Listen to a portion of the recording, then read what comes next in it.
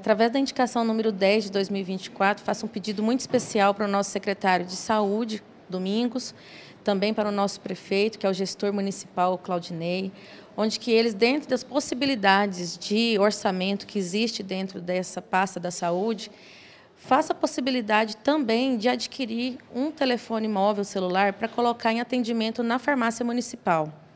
O intuito desse pedido é para a gente buscar, de alguma forma, resguardar também os direitos do cidadão que vai ali buscar o seu medicamento na farmácia popular, mas, ao mesmo tempo, a gente também tem o interesse de colaborar com os próprios servidores.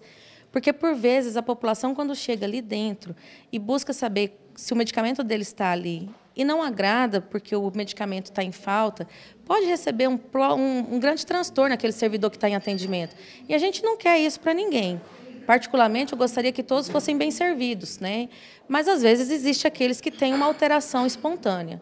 Então, nessa situação, seria muito agradável a gente trazer o atendimento via WhatsApp. Hoje é praticamente todos têm essa acessibilidade. E se não for pelo WhatsApp, que seja pela própria ligação é, buscando aí de forma a atender a demanda. O, o próprio munícipe que está ali com a receita pode ligar, evitar uma situação de que chegar lá e perdeu a viagem. Né?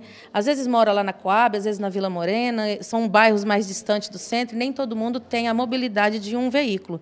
Então, para essa situação, seria o intuito da gente trazer o benefício de agilidade.